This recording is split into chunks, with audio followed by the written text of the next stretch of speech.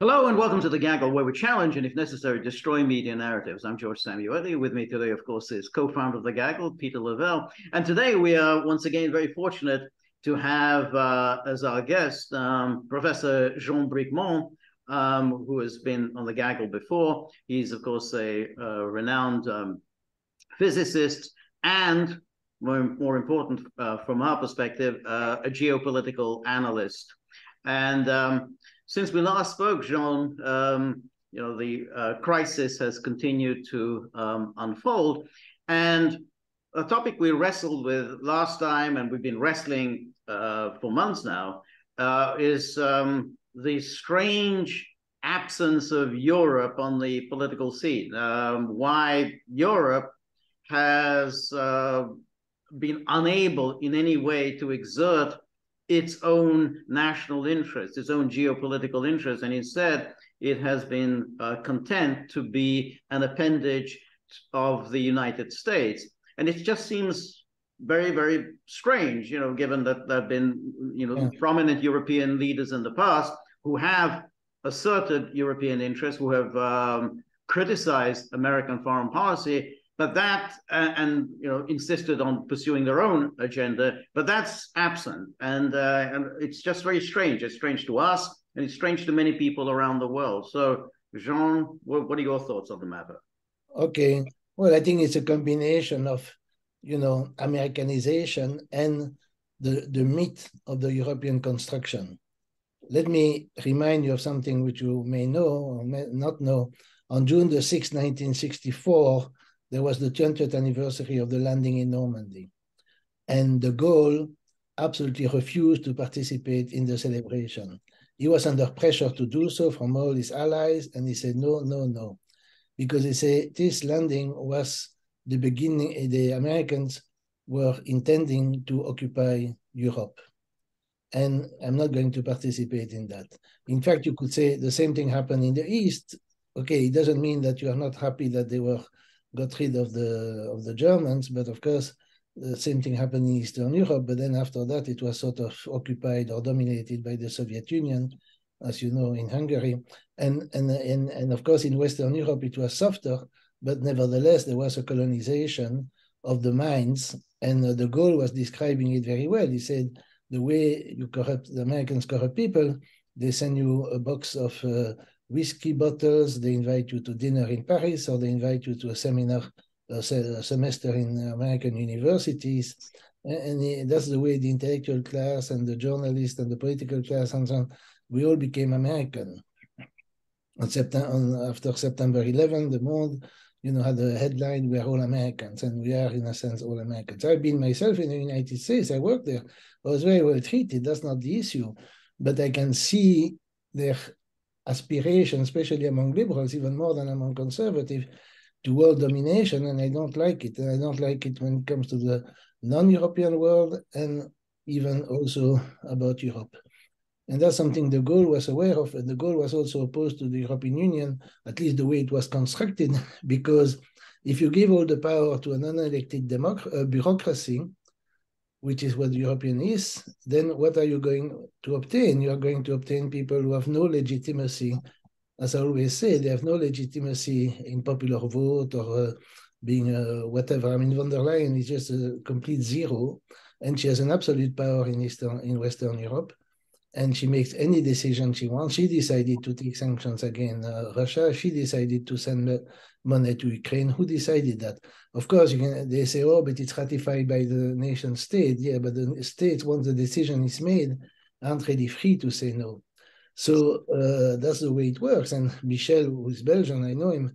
He, he was prime minister. I mean, he's a pale figure, and he I mean, I don't think he goes along with von der Leyen so much, but you see, these people are unelected, so what are they going to do? They have to legitimize themselves, and therefore they are open to every conceivable pressure from the powers that be. And, and that's the whole source of our tragedy. Another source, which I think is ideological, is that there's a big change in the lessons that people drew from World War II. De Gaulle and Mitterrand are typical examples of that they both, of course, lived through World War II, even though, of course, Mitterrand was much younger. and he was slightly involved in the collaboration, but that, that's not the main point. I think that's not the main point.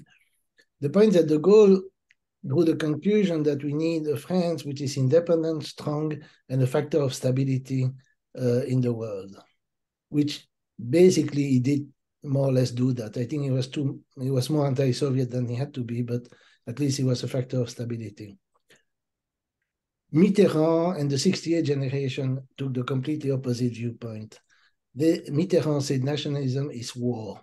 In fact, they all took the decision, the idea that the source of the wars and everything in the 20th century is not capitalism or imperialism, as uh, even Marxists don't say that. They say it's nationalism. It's a sentiment. It's racism.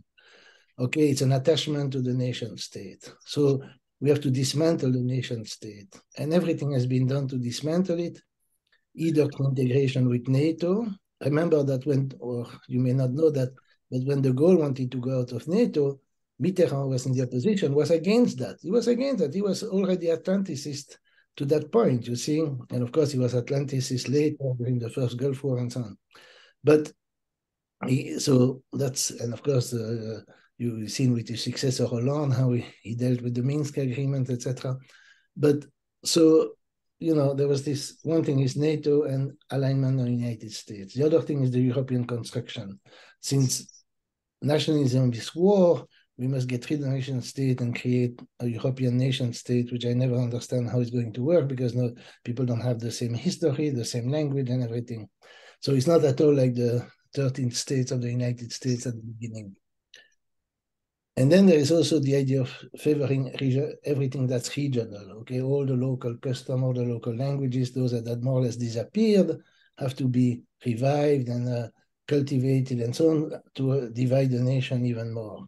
And then, of course, last but not least, there is immigration.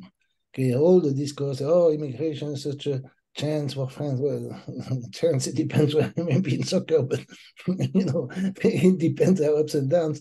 And, and, and of course, it's been totally unilateral. And of course, now we have a large fraction of the population, and we see it in Belgium also, which have no sense of belonging to the same community. You see, during New Year's Eve, there were people who were uh, trying to rescue a woman who had fallen from uh, the fourth floor of, uh, of a building in Brussels, and they were attacked by youth, the neighborhood, with bottles and with uh, firecrackers and so on. Uh, even, uh, you know, nurses. I mean, it just makes no sense. Even when there was a, you know, anarchist and when there were much more radical leftist movement, they never did something like that, not attacking nurses, okay, policemen maybe, or heads of state and so on. But so, I mean, it seems to me that there is this intense decoupling between part of part, of course, only part, I think a minority, but still part of the migrant population and the general population. Of course, that further divides the population and weakens the nation state. So everything has been done to destroy the nation state. And I think there is no hope if we don't rebuild some sort of, you know, belonging, which of course goes through. I mean, we are never going to, the French are never going to feel being German, okay? When you look at the World Cup or vice versa, when you, the World Cup is the best example. I mean, how many French were supporting the Argentinian team, or how many French were supporting the German team? I mean, maybe 10 somewhere in an anarchist cafe, but nothing nothing more. Okay, so the, the vast majority of people are identifying with their nation.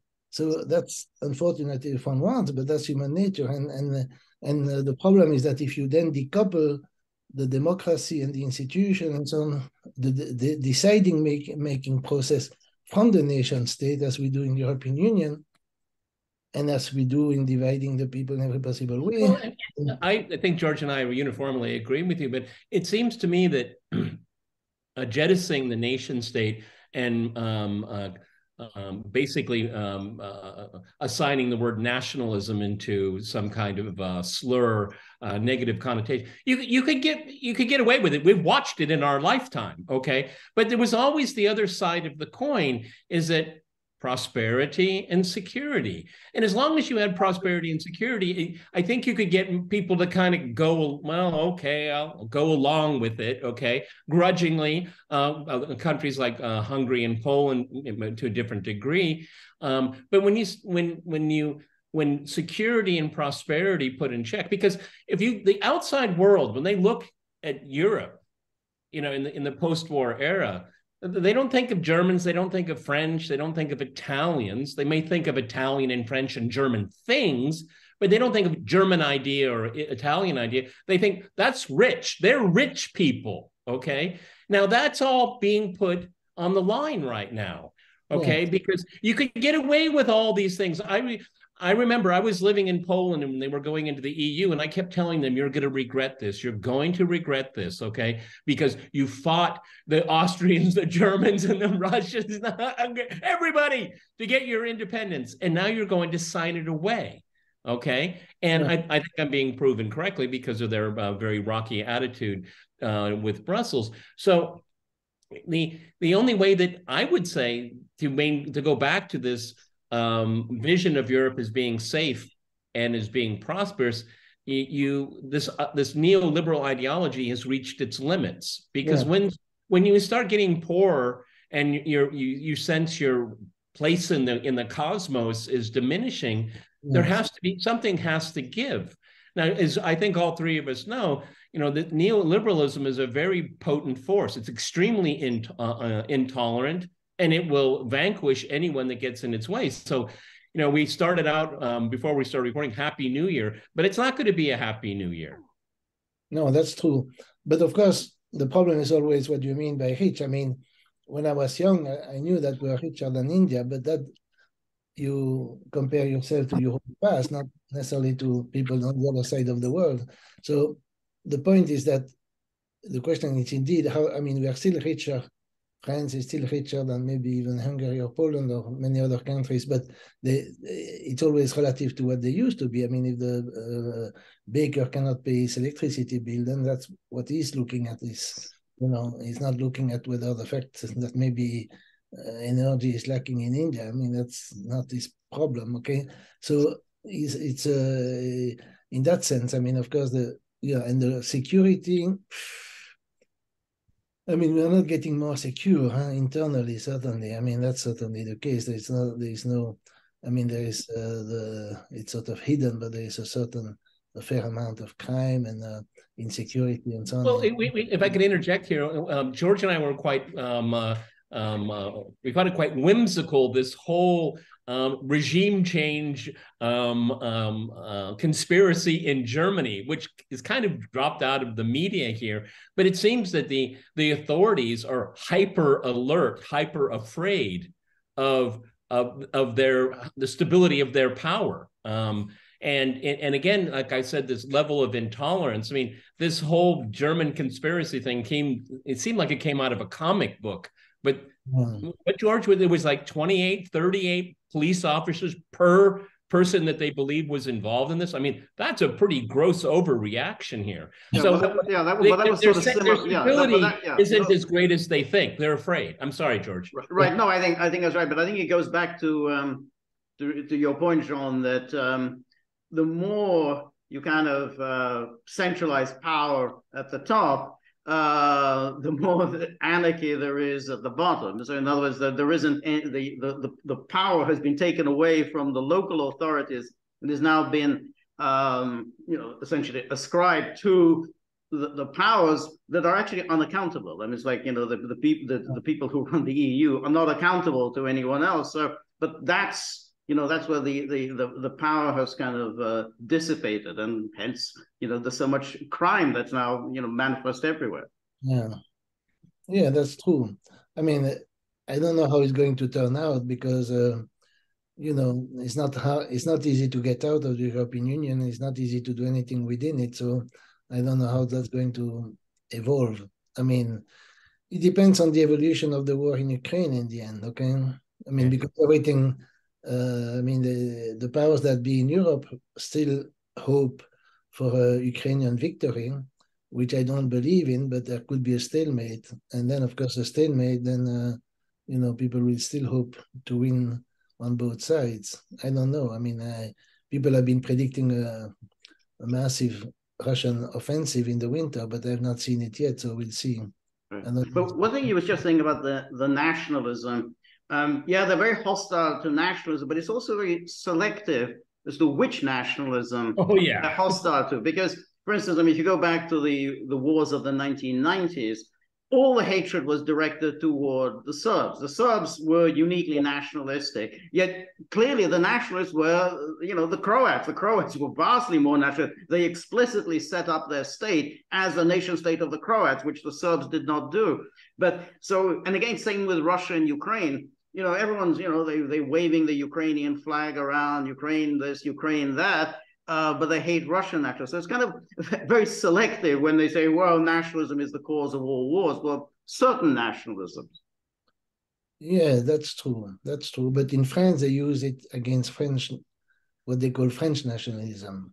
That's what the, the nation state. But I agree with you that it's very selective when it comes to foreign policy. It's related, of course, to certain American views or Israeli views that are favoring certain uh, certain nation as opposed to others. That's true. Yeah, that's true. Yeah, I agree with you. And uh, the Albanians, for example, the Kosovo were extremely nationalist. I've known some indirect and they're extremely nationalist, but that nationalism is okay. And the Ukrainians are uh, fascistically nationalist. But uh, I mean, it's almost a joke that in France you sue somebody uh, some humorist who makes a joke about the Jews who is politi- politically incorrect, and then he's sued, and then they give weapons to people who honor Bandera. It's very fun. I mean, if it wasn't tragic, it would be very funny. It's completely ridiculous, but that's the way it is now. No. It's not. It's not dissimilar to. Sorry, Peter. Just just make that. Just to follow up on that. Uh, it's not dissimilar to the way the Soviet Union was conceived, because Soviet mm. Union was conceived as mm. very hostile to Russian nationalism. Russian nationalism was a terrible thing. That's greater Russian chauvinism. That's oppressive and everything else.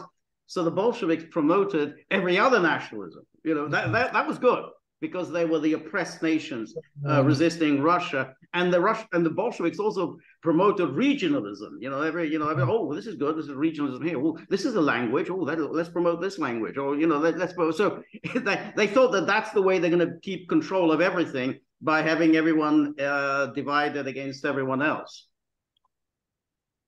Yeah, I don't know about that. Yeah, I think it's more or less the way it was. Yeah, people uh, think. That, I mean, there was the same thing in Yugoslavia because there was opposition to great Serbian nationalism, supposedly. Yes, yeah, that's true. But uh, as I say, I mean, I, I, was looking at it more from the point of view of what's going on in Western Europe.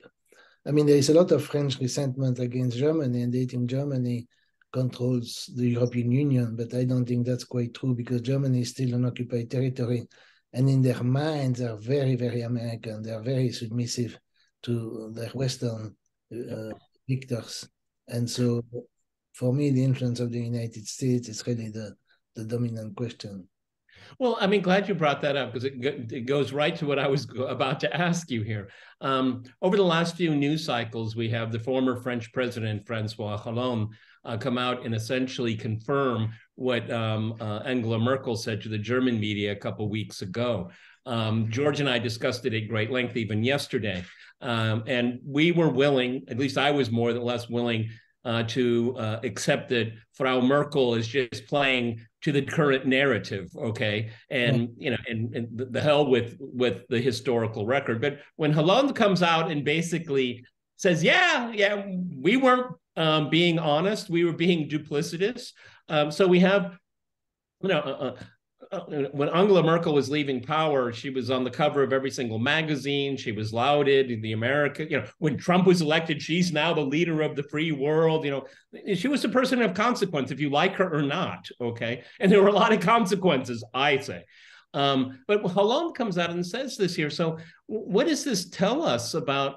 the is this because of just uh, submission to the United States because we knew that the U.S not part of the Minsk process, but they were dismissive of it all along, uh, dismissive of the Normandy format. And, um, and now they come out and come clean, as we say in American English. That doesn't, um, um, uh, for, uh, that's an ill boding for how this conflict in Ukraine is going to end eventually, because the Russians are going to say, but you admitted you were lying to us for eight years. I mean, what are we supposed to do? I mean, I think that you know these the, the, these revelations have created a real dilemma because mm-hmm. the Russians were always saying, "But you won't keep your promise." Well, Hollande and Merkel came out and said, "Yeah, we didn't." Yeah, well, Mer- you know, you probably know Mercouris at the Duran, and he he was not convinced by Merkel's statement. He thought Merkel was saying that because she didn't want to look to have been pro-Russian in the past, but he thinks that at the time of the Minsk agreement, she was sincerely in favor of it. Now, Hollande is a different character. I just like, I'd like to point out that that was the original position of the Moon of Alabama that other people have re repeated. Okay, go ahead. Okay, yeah, okay, but it's possible. I mean, the Moon of Alabama is German, so he knows Germans, and I haven't read the German statement, but the I I think Hollande is different. Okay, Hollande is much you know less important character than Merkel, and he he may. But, but if I could just interject, these were the two leaders. Well, it was Sarkozy, but these were the two countries that signed on to it. So it does have significance here. Okay, as yeah. a sign, as a guarantor of an internationally recognized United Nations recognized process. So I, even though if he's the um, playing second fiddle to Merkel, it still counts. Oh yeah, yeah, yeah. I, I think I am a hundred and two hundred percent behind the Russia if they think that the words of the Western leaders not to be trusted anymore. That's I completely agree. And even if Merkel was sort of, you know, not really following the historical record, uh, Putin is completely right to be upset and to think that he's been cheated because that's more or less the what she, the impression she gives. But Hollande may be more sincere in the fact that he always cheated the Russians because Hollande, Hollande, I think was, uh, I think uh, not, if not Hollande, some other people from the Socialist Party went to apologize uh, at the time of the Gulf War, the second Gulf War, to the American embassy because uh, of the position of Chirac against the war. So they're uh, a level of Atlanticism which is just beyond belief, and they've always been like that. And they they they were, I mean, de Gaulle stopped their program of giving nuclear weapons to Israel. I mean, they, they've been uh, in foreign policy, the French socialists, not everywhere, for example, in, in Sweden, you know, with Palme, it was different, but but in and even in Belgium, it's a bit different. But in in in France, they've been absolutely horrible. And so Hollande is, of course, of that generation and is that gang. And uh, I wouldn't be surprised if he was, you know, duplicitous at that time. Merkel, I don't know. But anyway, the fact is that given those statements, the Russians are 100% right in saying that they they were being taken for a ride and now they're not going to trust anybody. But of course, that doesn't bode well for how the conflict is going to end because, you know, if there is an overwhelming military victory from the Russians, but that's not in the cards now, I don't know, I don't know the military situation, then of course things will be solved. But uh, we don't know because they can still send uh, NATO troops, Polish troops, Romanian troops, I don't know. They can put more cannon fodder on the on on the ground. And uh, we, I mean, in military affairs, I'm just totally, uh, you know, suspending my judgment. But that may be that may be one reason why both Hollande and Merkel are now saying this, because after all, they know how the Russians would respond to these comments. The Russians would say, "Well, why why are we going to bother talking to them?" And but that's also the American position because the Americans don't want they don't want any negotiations. They don't want peace. They want this war to go on. I mean, that's that's you know, it's, it, it works for Americans at every level. So they want this to go on. So it's like you know, you know, it, it's very odd that they both come out at the same time, and you can say, yeah. well, yeah, who whose agenda does this serve? It serves the Americans' agenda, as as most yeah. things that coming out of Europe does. Yeah, Hollande, of course, Hollande was uh, totally committed to. Uh, I mean, he does say that the only solution is that the Russians would lose. I mean, I don't know if Merkel said that, but he says the only outcome of the of the war. So they're all committed to an, you know, never-ending war. On the other hand, you know, defeating. I mean, the problem is really the idea of stalemate because the defeating the Russians, that's not going to be easy to put it mildly. But for the Russians to win overwhelmingly against all the forces, I don't know. We'll see. I mean, they are grinding down the Ukrainian, but then the Ukrainians can bring in more you can bring more NATO troops. I don't know how how long it's going to last. I, I, just don't know. It looks like a stalemate for the moment. Uh, well, I, I, mean, I, I, have to push back. Position, the, position of the, European is absurd. the position of the European is absurd because they're uh, shooting themselves in the foot about the energy, and then uh, they're going to support a war which is not in their interest, which is only a proxy war of the Americans, which is unbelievable. I was looking this morning at a video about how much you know, penalties the Americans have imposed on European companies because of so-called corruption violation of uh, trade embargoes, etc., with Iran, Cuba, and so on. I mean, it's unbelievable. How do we let ourselves be, you know, taxed like that? and there is no reaction either from the national and uh, uh, national authorities or even more so from the European uh, the European authorities. But uh, as I say, they're all Americanized, so it's very it's the it's depressing. It's depressing to look at the news because you look at all these experts on the news. First of all, they always every other day they say, "Ah, oh, the Russians are out of munition," and then there's a new bombing. Then they say, "Well, but now they're really out of munition." they keep on going. Do you, like do you believe? Do you? I mean, I, you've said something. I think it, it, kind of surprises me a little bit, to be honest with you. Do, do, you do you think the French military wants to get into a ground war? And and ah, no, no, no, no, no, no. I didn't say. I didn't say that. I said that they could send Polish or Romanian troops. I didn't say this would French. Well, they're still NATO countries. From Russia's perspective, it's NATO. Sure, sure, sure. But the but I don't think the French military. But you see, even the Pentagon may be more uh, prudent than the State Department. I mean, they, you know very well that these are not always the same. And I think the French military, except some people who may be very, uh, you know, there are all these generals who come on TV and they always say, ah, but the Ukrainians are winning, etc. But I don't think they want to be involved at all. But the, and I'm not even sure what Macron wants, but you know, how could he do anything else given the media? I mean, the the power of the media over the politicians should not be underestimated because if all the media turn against a politician, then he's dead. So, uh, and all the media are, you know, on an Atlanticist line, except some far right, so-called far right uh, media, which are really marginal. And then uh, that's the way the situation is. And uh, uh, I, I don't, I don't know the French military, but I doubt that they are very gung ho about this war. In fact, the, the capitalists, I mean, that's what I found always remarkable is the European capitalists, many of them are not uh, gung-ho about this so on because they realize that it's being they're being ruined. But you know, the ideology, I always say the ideology actually in many situations, especially in wars, come, takes precedence over economic interest. People, especially Marxists, think that economic interests are you know, leading to war. But in fact, if people are really rational about their economic interest, they wouldn't go into this war. But there is ideology, there is all this anti-Russian sort of quasi-religion, and then of course that leads to uh, this domination by the ideology. I always give the example of expression. I don't know if you use it in English. Going to Canossa, uh, that was at a time when the Emperor of Germany had to go to a place to apologize to the Pope and mm-hmm. the emperor certainly had more military power than the Pope, but the ideological power of the church was so strong that he had to apologize. And I think that's the way it goes even now. It doesn't change that much.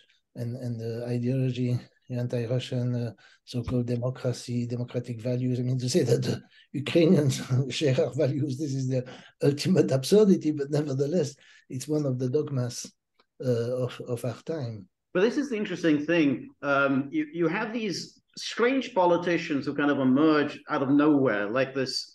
This we're always having a laugh, Peter and I, about this Finnish prime minister. We don't know her name. You know, the the work hard, party hard girl. We call we call her Finchick. The okay. Finchick. Um, you know, she comes out of nowhere, very young, kind of attractive.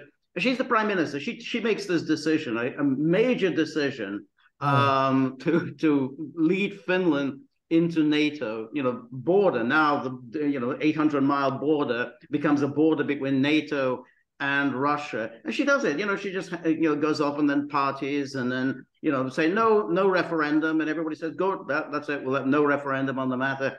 So it's a it's kind of strange. There's so many of these political figures who come out of nowhere and uh, and then and then making you know major decisions. You know, Annalena Baerbock. You know, she's another one, or you know these um, you know the various uh, chicks who, are in the Baltic states. I mean, it's you know we, we we don't really have politicians anymore who kind of you know you know punch their ticket and you know you know move up within the ranks. They just emerge out of nowhere and then make these massively significant uh, decisions. Yeah, I know, I know, I know, I know. Yeah, I I I've been working in Finland very often, and I really I could see that there was, of course, a resentment towards Russians. In fact, I think in the Baltic state, Hungary, Poland, uh, Romania, probably I don't know. Hold the, I mean, at least in in in the parts that used to be part of the Russian Empire, uh, there is an enormous hatred for Russians, but which is not uh, decoupled. Let's put it like that from racist contempt for uh, the supposedly Asiatic hordes that the Russians are supposed to be. And of course, that transplant in the United States. And in the United States, if you put together all the Baltics, the Poles, the Jews, all the people who emigrated from the Russian Empire and the Russians, that's a large contingent of people. And some of them are very influential on foreign policy, like uh, Nuland and uh, Husband and so on. I mean, these people are very influential. And uh, again, the ideology is so that you can't really uh, denounce them. And then uh, that has a lot of weight. I mean, for example, one, one the, foreign policy establishment, the foreign policy establishment at the time of the recognition, the expansion to each world of NATO, the real establishment was not in favor of that. And Clinton did it partly to satisfy voters from these states, these uh, immigrants from uh, mm. the Eastern Europe. It wasn't really something. I mean, the, the people who are really responsible statescraft, I would say, state state uh, men, they they were against that. Mm-hmm. Why doesn't that work in the case of Israel? I mean, the, most of them come from the Soviet Union. Why don't they hate the Russians? They have Israel has good relations with Russia. You know, a lot of a lot of Russian Jews are very uh, very attached to Russia, have remained very attached to Russia. Why is it why is it that only when they come to the United States they suddenly absorb this intense loathing for Russia? They're not necessarily the same, huh?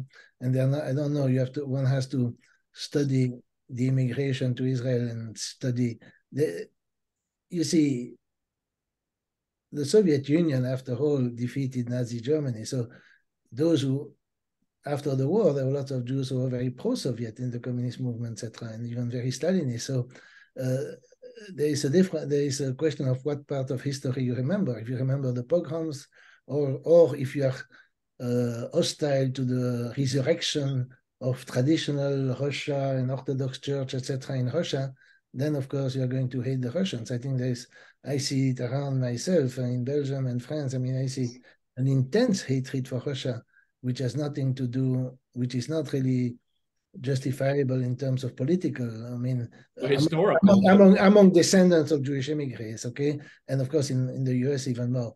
In Israel, I don't know, but Israel is it's a complicated thing because uh, you see Israel has a strange diplomacy. On the one on the one hand, they don't care about international law, respect for their neighbor, etc. But on the other hand, they want to have good relation with people far away, including Russia, China, the United States, etc., because they feel that they have to be protected, mostly with the United States. But of course, there they have a huge lobby to, you know, push in that direction. Of course, also in Europe. So eh, it's a very special case. It would take hours and to really. Well, I mean, I, I it also I mean, something George and I have talked about uh, uh, at length is that you know when when you just mentioned the lobby, um, well, most of that lobby are American Christian Zionists. Okay, I mean, so it's very ideological. Yeah, yeah, yeah. But that that's a cover. They wouldn't exist without the Israeli pro-Israel lobby. The pro-Israel lobby. Oh, oh it's a it's a it's a perfect relationship. It, it really is a perfect relationship for them. Yeah, but I don't think it's really perfect from i mean i'm not christian but i think from a christian point of view it doesn't make much sense. And i think it is sort of these people are sort of manipulated by the others. I mean they are sort of and and if you really look at who is in that so-called christian lobby it's not that Christian, and and it's really. I've come across a lot of evangelical American Christians that just are fanatical about Israel. Okay, oh, yeah, and, yeah, they, yeah, and they didn't need a whole lot of influencing. Okay, I mean it's that's scripture, That's it's scripture to them. It, it's it's it, and it's the it's it's it's part of their um, worldview. Okay, and so it, work, it works uh, very well for both. It's certainly a certain view of the scriptures. You can have certainly there are other Christians who have other views of the Christian. The Catholics don't have that view of the scripture. Well, I mean, if if, if you want to be uh, uh, um, focused uh, strictly on scripture, the Jews don't do very well in it at the end. Okay, I've always found that to be very very interesting. Okay. But I, I want to ask you, we talk a little bit about uh, NATO uh, before. It seems to me, and this is my own personal opinion, and George and I have um, uh, discussed and even argued about it over the last 10 months, but one of the it, it, since Russia's goal in all of this stated uh, in December um, uh, 17th in uh, uh 2021 um, that Russia had found the pan-European security architecture intolerable, and that it would react to um, uh, influence that then the status quo. Well, obviously, it has done that with February 24th of last year. That's a long introduction to what what Russia wants to resolve is its NATO problem, and I think that it, it is all encompassing, and I think it also explains their approach to fighting this conflict because historically speaking russia has has always a lot of men a lot of tanks a lot of hardware and they just plow their way through okay? We saw that with the red army uh, just destroying the wehrmacht. Even as um, er, uh, as late as 2008 in august and um, uh, their military operation against Georgia through South Ossetia. Same thing, you know, just you know, just roll across. This time it's very, very different, very different. And what George, and I think George is probably the first person to say it, is that one of the, the, the, one of the reasons, probably the primary reason Russia is taking this approach is that it it it's not fighting a conflict uh, not only only against Ukraine but all of NATO, and so there has to be a resolution to Na- the NATO problem for the Russians. Yeah, they fight. They fight. I mean, a much bigger force than uh, when they were in in Georgia. Of course, not as as strong as World War II, but in World War II, they had enormous amount of sacrifice. I'm not sure they could be able to make they would be able to make such sacrifices now. But to come back to your remark about the evangelicals, there is a little anecdote which I should mention. Is Wolfowitz, who was one of the main architects of the yeah. Iraq War, somebody asked him, you know, what do you think of these uh, uh, evangelicals who think that the the Jews will, uh, I don't know, uh, not be saved at the last day or something like that, or they will have to convert to Christianity or else they go to hell, etc. Then he and were nevertheless pro-Israel, and he replied, "Yes, it's their theology, but it's our Israel." So that's. Yeah. I, think, I, I, think I think that's yeah I, yeah yeah I, I think that's right, Jean, because you know the, the the point of the evangelicals is that they are a kind of an alibi. So you can yeah. attack the Israel lobby, and then you say, "Hey, I'm not attacking the Jews." I'm just attacking yeah. the Christian evangelicals. I mean, you know, there's a, you can see on YouTube there's a debate with Noam Chomsky. Now, Chomsky has always been very critical of Israel, and then and he talks about the influence on American public life. And then when he's asked, well, who's doing this influencing? Oh, it's the evangelicals, because yeah. he doesn't want to say, yeah, it's the Jews. Know, so, know, so there is that that always that aspect that. I know, very well, and I like him in many ways, but I don't agree with him at all about that. Yes, that's true. The Jew, the, the Christians are sort of uh, yeah they are a punching ball. But uh, to come back to the military situation, well, the point is that it seems to. I mean, I I've been listening to you know people saying, oh, but now the, the Ukrainians send their last forces in Bakhmut, etc. But then they keep on sending more forces. I don't know how it's going to turn out. How, I don't know where they find the forces, but obviously NATO has committed. I mean, is the US has committed itself to uh, support Ukraine you know, to that to fight to the last Ukrainians against the Russians, and of course that's a problem for the Russians. I, I just I'm not a military person, as Mercouris used to say, and I really don't know how that's going to turn out. But uh, uh, the situation is really uh, worrisome in the sense that we are uh, looking for uh, prolonged conflict and uh, war of attrition and all these things, and it's really awful. I think that everybody should sit down and negotiate. But uh, the Ukrainians are still saying well, that. I'm, I'm sorry. Ukrainians say they're going to get back uh, Crimea. Sit down and negotiate. I mean, we just talked about Hollande and, and Merkel. I mean, that's why I brought it up. Okay. Yeah. So no, no. What, what, what, what initiative? What, why would Russia even consider that? Okay. No, and again, I want to stress my point and my question here is that there has to be as definitive as possible resolution to this, or else it'll happen again in five years. I mean, if if there is a ceasefire, okay, uh, uh, like, like we have on the Korean Peninsula, okay, I mean, that Ukraine will just be turned into a NATO outpost, okay, and and and Russia will find that intolerable. It it it found what was happening before February 24th as intolerable. So I don't know what people are talking about a ceasefire, a negotiated end. There's only, from Russia's perspective, there's only one negotiation surrender. Yeah, if they can implement that. When I say they should be when yeah. they discuss when they say they should discuss when I say they should discuss, I mean the Ukrainians should discuss and concede some of the territories, but they should have done it before. They should have uh, given autonomy to the Donbass and so on. I mean, the Ukrainians have been pushed by the West to be totally irresponsible, and then uh, uh, we are in this conflict. I agree that there is no uh, possibility of negotiation now with the Germans and the French or with the Americans. So, but okay, you say uh, we'll see. I mean, I I'm just waiting, and every day I look at the news, but uh, you know very well that the front line doesn't move very much, so we have to wait and see. It moves, yeah. but not much.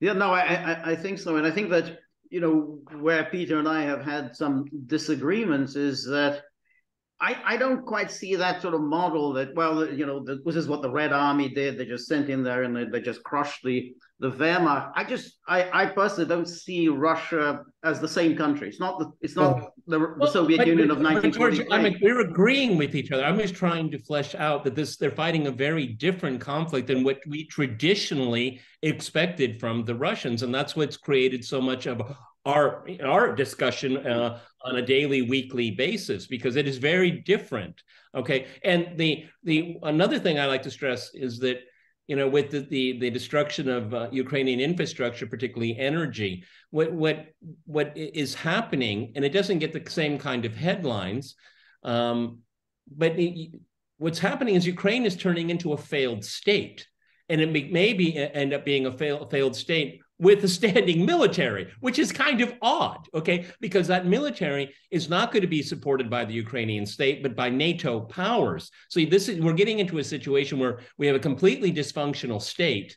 and you have an army that is being um, because I think as Scott Ritter put it to us a few weeks ago, is that the Ukrainian army was defeated last summer. Okay, now Russia is fighting NATO with Ukrainian troops. So I think that the the the there's this impatience. And i would like the, the, two of you i would like to see this come to an end immediately. I don't want to see any more death and destruction.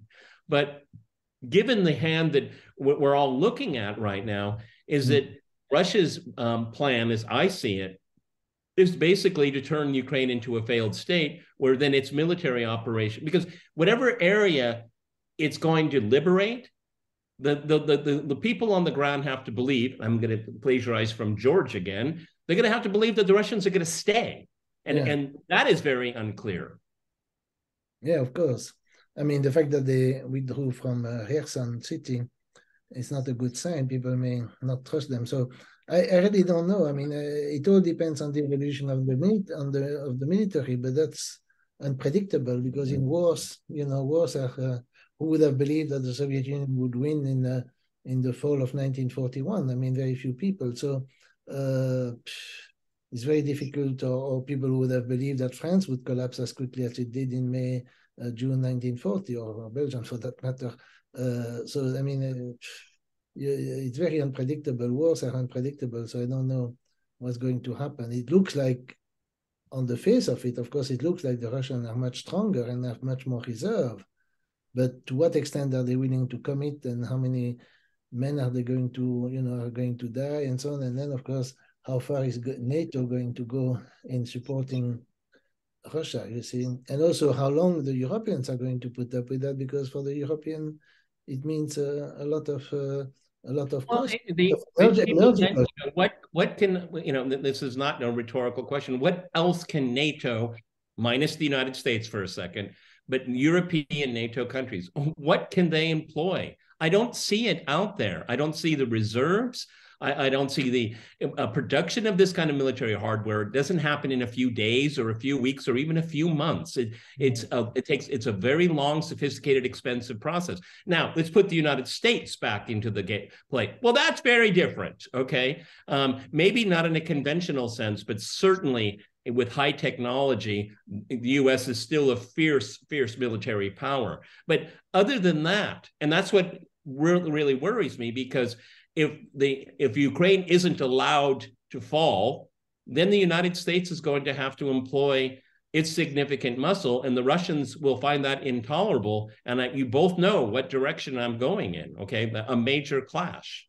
But I think that, but I think this is the, the, the American economy is a it's a bloody big economy. I mean, they can produce the armaments, they can produce the ammunition, and there's also the whole resources of the Europe, and you know, the, you can have factories, arms factories in Pakistan, in Morocco. You know, they can they can have them. They can they can keep churning this stuff out, um, which means that Russia will not have achieved what he wants to achieve, which is to protect. They have to at least protect the the territories that they that have now been incorporated into Russia. I mean, they still can't protect Donetsk city. You know, it's still being shelled. I mean, civilians are being killed, but they haven't protected it.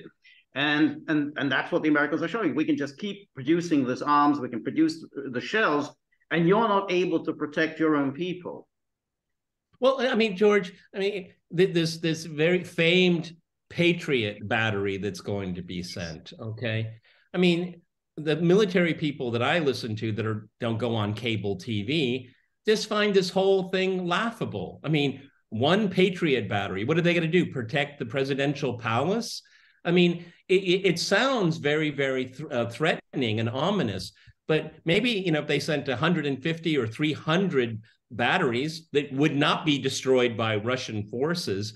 Now, I, I, you know, again, George and I, you've you've seen the discussion George and I have had. It's also a matter of timing, George. Okay, if if um, the Russians are going to allow this to con- go on for years and years, then I will agree with you. Okay, but that remains to be seen. No, the problem is indeed how how how much the United States is going to supply. I mean, may, it may be that the some circles in the United States thinks it's time for negotiation. Huh? I mean, meaning, of course, not complete surrender of Ukraine, but some negotiation. On the other hand, indeed, negotiation may lead to a ceasefire and a demarcation zone, etc., like in Korea or in Cyprus, for that matter. Uh, you know, uh, that's uh, also a divided country. The United States would only favor negotiations if it felt that its client was on the brink of total defeat. I think if, if it felt that Ukraine is on the brink of collapse, then I think the Americans would push for negotiation. Obviously, the Americans don't think that. I mean, I, th- I think that Americans would, would make that decision if they thought that Ukraine's on the brink of collapse. So they obviously think this they can still keep this war going, that Ukraine is not on the brink of collapse. Uh, and they think they probably don't think Russia's on the brink of collapse either. There's no indication that that's what they think. But they think Ukraine can keep going for you know months and months and months. So um, you know that I think it's an indication that the Americans don't think that How they're on the brink of defeat. How do they do without energy? You see, they're lacking more. Yeah. Yeah. Well, Americans have it. The, the Americans have energy. Uh, the Europeans don't. Um, that's, the, the Europeans that's... still have compared to Ukraine. I mean, Ukraine is really sorely lacking in energy. So how do I mean I I find that horrible. I mean, how do you do? Well, and, and on top of it, gentlemen, here the entire electricity grid in Ukraine is Soviet slash Russian made. Okay. So it's one of the things I have suggested recently is that um, when this conflict comes to an end, there's only one country that can actually re energize Ukraine at, at, at, an affordable price, and that is Russia. Okay. The, the, the, the, everyone you keep hearing about these substations. Well, that's just part of the grid. Okay a very important part, by the way.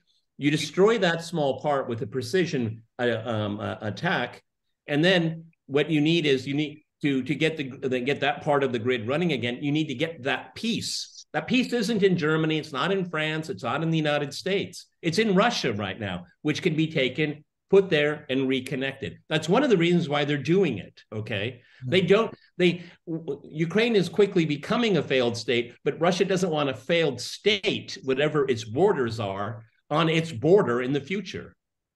No, that's true.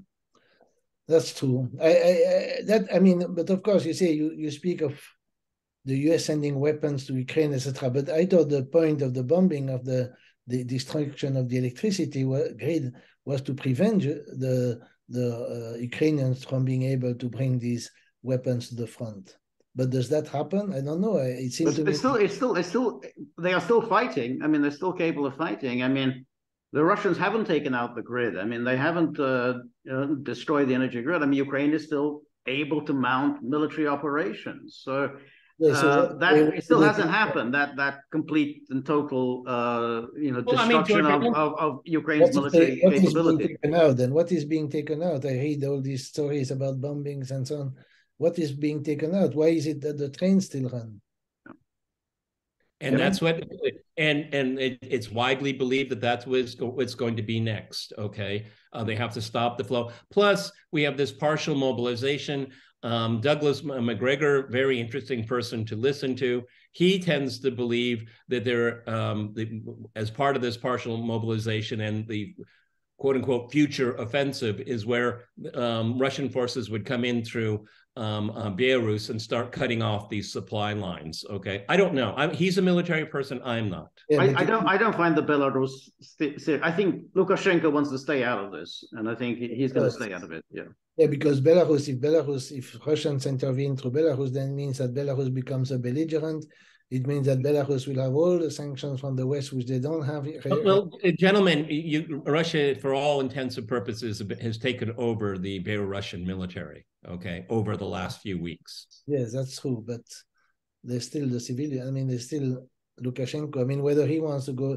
I mean, the problem is that he goes to war, then his country is going to become exactly on the same stage as Russia, and he may not want that. Uh, all these things are unknown. There are too many unknowns. I, I just don't know. But I understand that strategically it would make sense for the Russians to invade from Bel- from the side of Belarus. But on the other hand, the Ukrainians have been building trenches along the border, so it's not necessarily so simple. I mean, these trenches seem to be very hard to to overcome. I mean, uh, otherwise, why do they still fight in uh, Bakhmut? If we could go back to Europe here, you, you said it in, in a very fleeting way. Um, because of this um, ideological obsession that the elites have and their Atlanticist attachment. Are, are Europeans, and I know you, you're only one person and one, you're a Frenchman, but do you think Europeans have the resolve for a very long conflict, or is it they are just going to do what Washington tells them to do? Oh, the population certainly does not have. I think in France, two thirds of the population, despite massive propaganda against that, they're in favor of a negotiated peace. They say, yes, we should send weapons, but we should have a negotiated peace. So I don't think the people, but uh, what is the impact? I mean, the problem is always what the impact of the populace on the politics. I mean, the politics, especially with the European construction, is totally detached from. I mean, it doesn't really matter whom you vote for because, as you say, they're interchangeable. Even if you voted for the far right, suppose well, the so-called far right, uh, I don't think it would necessarily change. Meloni is in power in Italy. She's gung ho for the Americans. She's gung ho for Europe it isn't going to change anything ser- serious, not even on the immigration question, which is right. the only which has been elected for. So no, I think it's right. And even Orban, I mean, Orban is a fully paid up member of the NATO and the EU. I mean, you know, he can quibble about this or that and the other, but he's ultimately dependent on money from the EU. So the EU can really put the pressure on him, just saying no money for you, and that's the end of Orban. So you know, you know, there, there really isn't too much, um, uh, you know, opposition other than you know, few far right figures who are nowhere near power. But in Italy, Italy and France are net contributors to the European budget, so they're not in the situation of Poland and uh, Hungary.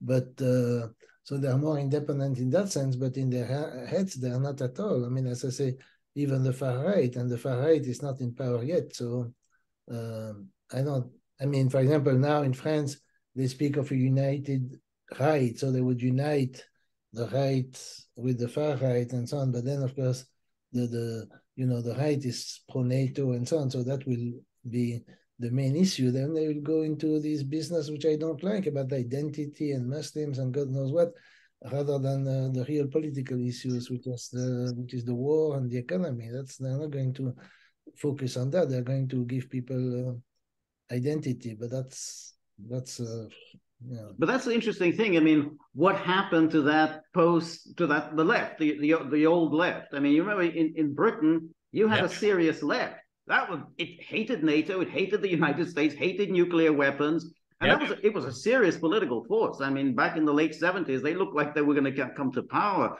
Um, it's gone. I mean, there, there's just no no left. The last, I mean, one, the last one was Corbyn, and he was eliminated by exactly you know what or why yeah.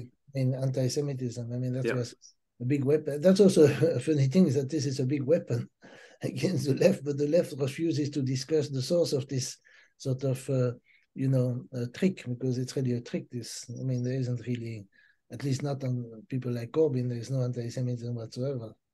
no, not at all. Yeah. Not but I mean, it, it, it's just very interesting these kind of campaigns that um, are so focused and and um, uh, and directed and just flood the zone, just flood the. You know, we had this with COVID, with uh, Jeremy Corbyn, obviously, um, uh, and now we're having it with with Ukraine. I mean, it, it's it's it's it's truly terrifying uh, how few op- uh, opposition dissident voices um, um, that are being heard and c- shutting down um, um media outlets um, that, people disagree with. It's it's really astounding. And at the same time, when you have um, living standards uh, dropping all uh, all through the Western world, so the the the information sphere gets tighter, and then our, our the the the standard of living goes down. But there's doesn't seem to be very many people saying there are these two related. Well, they are. Yeah, of course, yeah yeah, there's no, I mean, there isn't very much thought in so-called dissident circles. There is not much uh, analysis of what's going on, so it's difficult to. to That's right, and it's uh, and, and anyone who is kind of a dissident has to immediately show his uh, credentials, like Meloni. Hey, I'm as anti-Russian as the uh, as the next man. Don't don't count me in the the Putin oh. uh, lobby. You know, you know. So yeah, I'm not. And, and, I don't know, George, if you saw, but they, there's a, um, a commentator on Fox News, Mark Levin, and he has a, a, program. I don't know if you saw it. It was really one of his worst. Um, but here, here's a guy that is supposed to be, um, to his very genetic code, the ultra conservative. Okay, not a nationalist per se, but a conservative. And he was spouting on his program yesterday the Putin wing of the Republican Party. Yeah. Yeah, they always call it Putin as if you replace Putin by Medvedev, it would be it would be any different. I mean, it's really ridiculous. I always want to ask you: suppose you replace Putin, by whom are you going to replace him? I mean, eh, by whom? You see, there's just nobody in Russia with more motherhood than Putin. In fact, so I mean, in the Russian, which would be acceptable to the population. So if Putin was going to go, that would be replaced by somebody who's more nationalist than him. Well, it's it's a it's a pity that languages um, divide people be, uh, because if you were to watch mainstream Russian media, um, they of course never directly attack uh, President Putin, but they certainly go after his government's policies, particularly on Ukraine. Okay, it's much more aggressive. It's more nationalistic. Um, some of these, you know, I don't, I don't want to um, use too many American examples, but they they have their own versions of like Sean Hannity and Laura Ingraham and people like uh, Mark Levin. They have some really um, um, chauvinistic voices here, but it's not coming from the government. But unfortunately, nobody in the West seems to want to pay attention. No, of course they don't. They, they think it's all due to Putin. I mean, it's completely. It's a, I don't know Russian, but I can. I know enough to see that this is completely absurd. But that's the way that's the way we are run. And uh, I mean, it, it's really a very strange situation because, uh, I mean, for example, if you take the left in France, I mean, the left in France is even more for censorship. They're always for censorship. They're for cancel culture. And of course, if you say, what about uh, canceling RT? I know RT France very well because it's a friend of mine who's been who's the director of the website. And I say, and I know very well that he, and I know many people there who are not pro Putin, not at all and uh, they are not Russian propagandists. I'm not talking about maybe RT in Russia that I don't know, but I'm talking about RT France, and I'm talking about the the, the website. And uh, if I say, what about uh, the censor? Oh, no, no, no, no, no. Propagandists for Russia, you have to censor them, etc. They will accept that. There, there is no thought about free speech now. It's all fascism. You have to fight fascism. Fascism is the ultimate evil. Therefore, every means is acceptable, including like during the war, the bombing of civilian population, like in Dresden, Hiroshima, and Nagasaki. I mean, it's it's almost like that. They have the same mentality that during World War II, except uh, they are against a little website. Okay, that's that's. You know, the... it's interesting you bring that up because I, I, I find and maybe I, am interested in your th- thoughts, George, but the the whole um, propaganda effort in supporting Ukraine, they're really trying to imitate a World War II yeah. um, a narrative, um, uh, and, and and and it's it's not nuanced. I mean, uh, uh, the run up to the um, uh, first and second uh, Gulf Wars on American television, it was it was there was a lot of debate. There, was uh, you know, they obviously the neocons had the upper hand, but there were still dissenting views. Um, now that is very, very rare, very rare, and um, and it, it, it's all because because of this um, uh, packaging of what Russia is and what Russians are and all of that. There's no nuance whatsoever. And, and and and you know, like in Milan, they're canceling Tchaikovsky at Christmas. Well, I mean, there's nothing more Christmas than Tchaikovsky. Yeah, yeah, yeah, yeah, yeah. The, yeah, and of course, the, the funny thing is that the, the people who do that are most of the time self-described anti-racist. I find it very amusing that can be, you know, you say any anything about blacks or Arabs or Jews or anything like that. Ah, racism is the worst evil and so on. And then when they speak Russian or Chinese, for that matter, then it's anything goes. It's just. Right. It's everything is absurd. I mean, there's I don't know what happened to the West. I mean, there's been total destruction of rationality. But then the, the question arises: Then, is this this propaganda mobilization? Is this in preparation for war? This is just simply let's just keep this going and, and then it'll dissolve. Or is this a preparation? You know, you're getting the population. Hey, you've got to really got to hate these people. These are evil KGB, communists, Nazis, you know, anti-Semites, everything, anti-vaxxer, whatever it is. Putin is that. So is this is what do you think that it's a it's a way of mobilizing essentially the the Western population for war? Well, I don't think it works very well in the sense that the population, as I said in France, which is very much indoctrinated isn't following that script. But uh, uh, of course, among the elites, you don't know. But then, of course, you have also to ask yourself, what does the military think? I mean, I hope the. I mean, I I've been saying for many many years that the only peace movement left is the U.S. military. I mean, it's not completely true, but there is a reluctance to go to war among certain parts of the military. Only a certain amount. You know, you got people like Ben Hodges, who used to be one of the top NATO people. The guy's guy's off his rocker. I mean, you know, he's so uh, filled with hatred for the Russian. You can you can for every sensible general, you can pick three American generals who are absolutely nuts on the subject of Russia. Breedlove is still Breedlove, exactly. That's another one. Yeah. Mike Milley is different. Um, yes, it, it seems like it. Yeah, uh, uh you know, but I, I, don't know about Milley. Milley seems like a you know, uh, you know, he he he's a, a, a, political opportunist. I wouldn't I wouldn't count yeah. on Milley. I, I, I, think I think Milley's currency in the elite is is is basically worthless right now. Okay, yeah. so I wouldn't really count on what he has to say. But uh, just remember, gentlemen, he oversaw the um, the, the, withdrawal from uh, uh, Afghanistan. Okay, I don't think he's got a lot of street credibility right now. Yeah, and if when you remember what he was talking about, white nationalism, white rage. Anyone who's talking about white rage, um, you know that that's that's that's not good news. And, and what saved Milley, the reason why he still has his job is that he came, openly came out against Trump. So he got a free pass. He got a pass. Yeah. You know, he, he's not the sharpest knife in the drawer. He doesn't say the right things all the time, but he's anti-Trump. He's he's on our side. Then that's very tribal. Yeah, it's very tribal. Yeah. yeah. Anyway, yeah. let's it. Let's. Yes. Well, Jean, I mean, this has Happy been a really this has been a really interesting discussion. So thank you once again for giving us your time. You know, we covered a lot of ground, and it's been a fascinating uh, debate. And so um, hope you will join us again very soon. And so thank you. And remember, if you like the gaggle, please like, share, and subscribe. See you soon. Bye.